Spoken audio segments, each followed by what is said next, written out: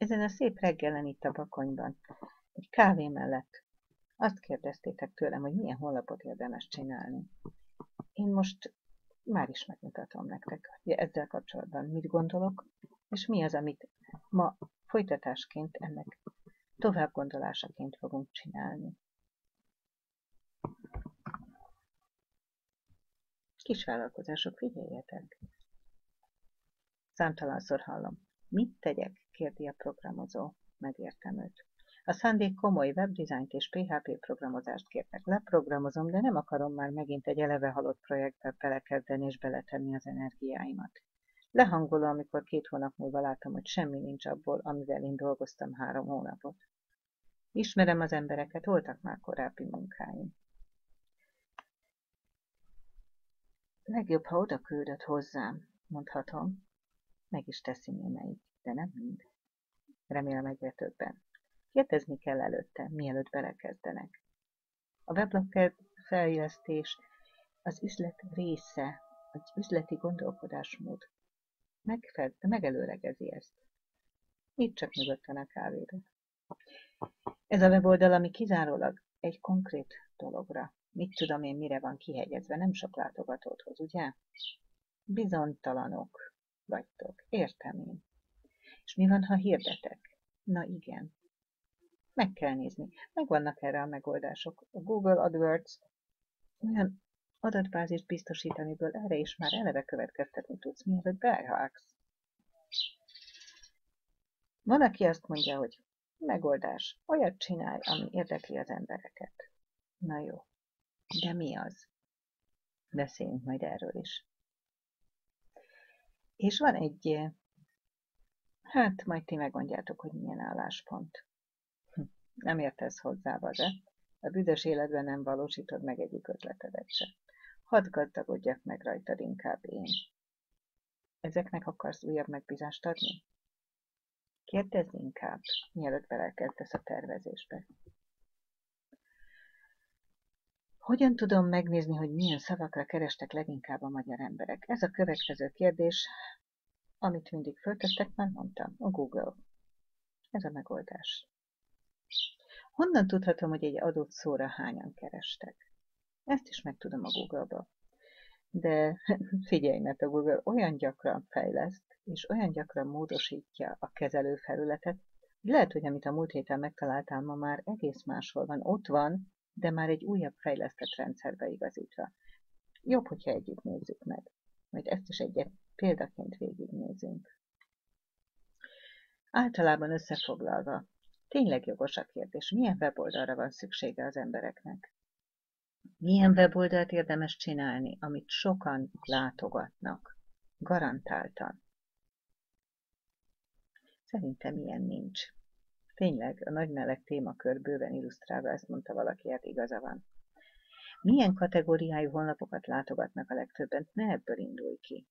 Webshopok, híroldalak? Magyar nyelvű, angol nyelvű? Hát gondolj csak végig a kis magyar piacon hányan mennek ugyanarra a vevőcsoportra, és ugyanezt angol nyelven mennyivel nagyobb eséllyel találja meg az ember. Még akkor is ott is sokkal többen vannak a versenytársak, de a számok önmagukban lehetőséget adnak arra, hogy többen megéljenek belőle.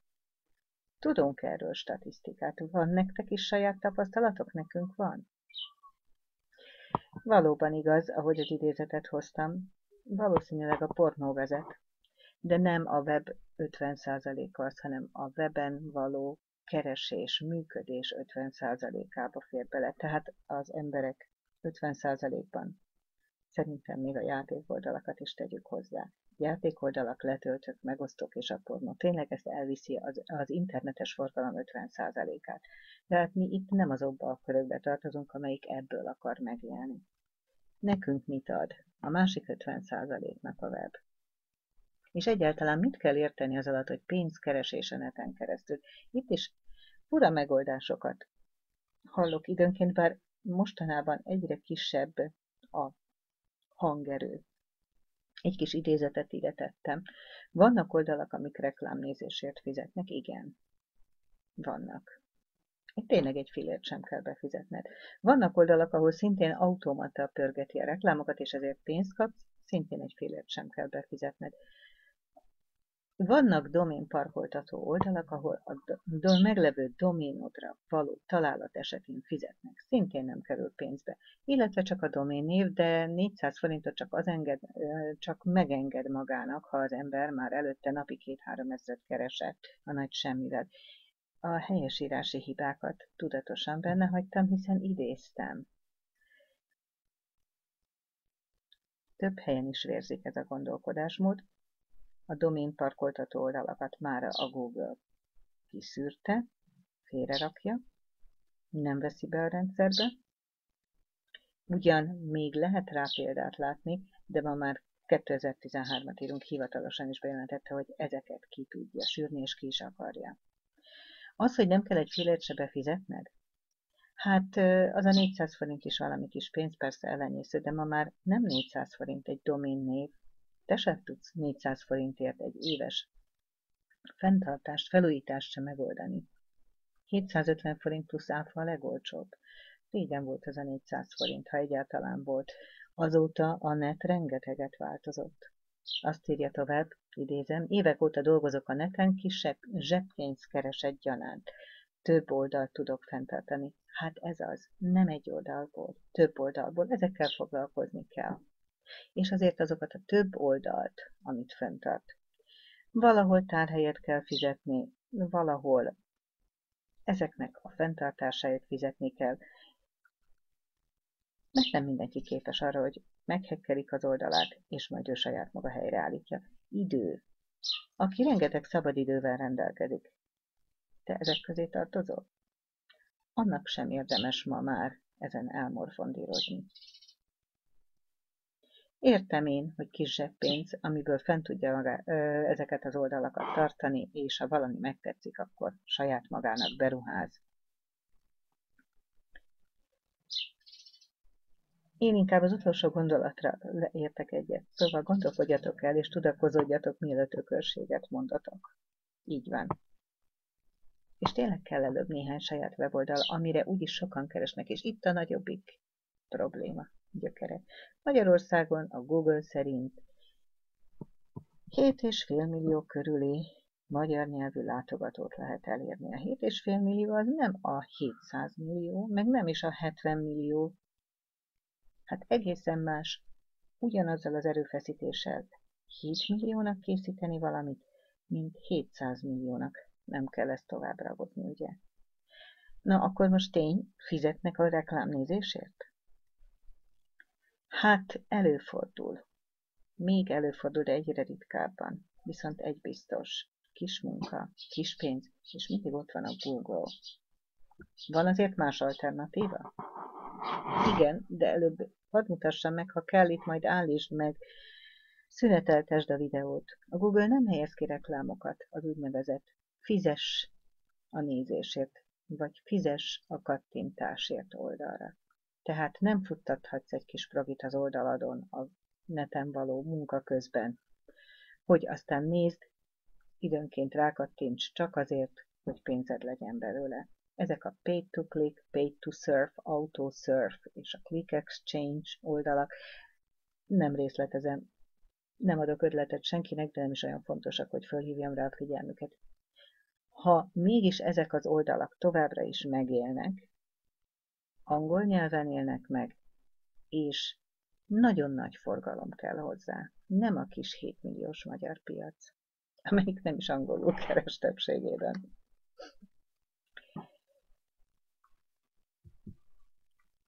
Még egy idézet, ami nagyon tetszett, és egyet is értek vele.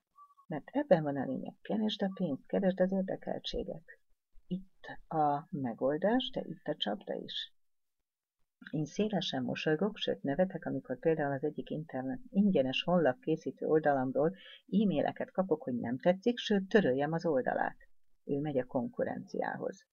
Mert túl sok a hirdetés, és a tripla bevételekre gondolok. Mit is jelent ez? Majd visszatérek rá, olvasom tovább. Tisztelni kell a Tesztelni kell a hirdetéseket. Minden hirdetési egységet külön csatornára kell állítani, és nézni az átkattintási arányt, a kattintásonkénti bevételt, és persze a teljes bevételt. Érdemes figyelni a Smart Price jelenségre is, ha sok hirdetést jelenítesz meg Magyarországon, ahol minden kulcsszóra van hirdető, sok hirdető. Sőt, néha csak egy pár. Előfordulhat, hogy Smart Price büntetést kapsz, elég kicsi az esélye, de előfordulhat. Mi is, ez egy kicsit olyan zavaros, de én azért kibogoztam a dolgot.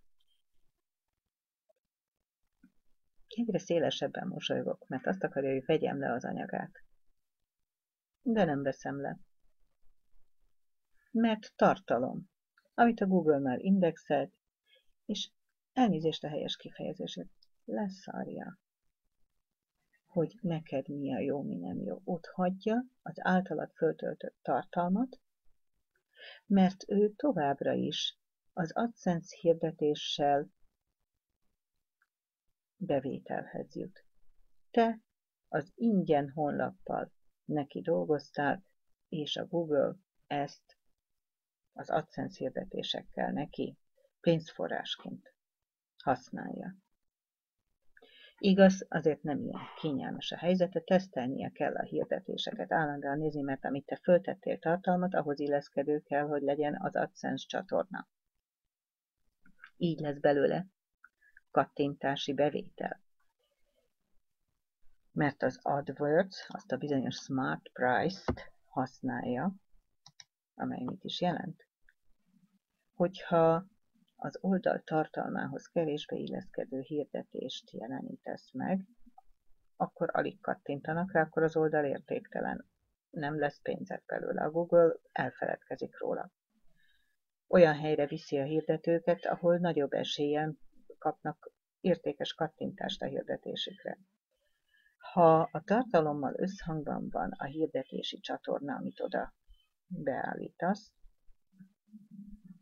akkor van esély arra, hogy valóban olyasmit keresnek az oda tévedt látogatók, ami a hirdetésben van.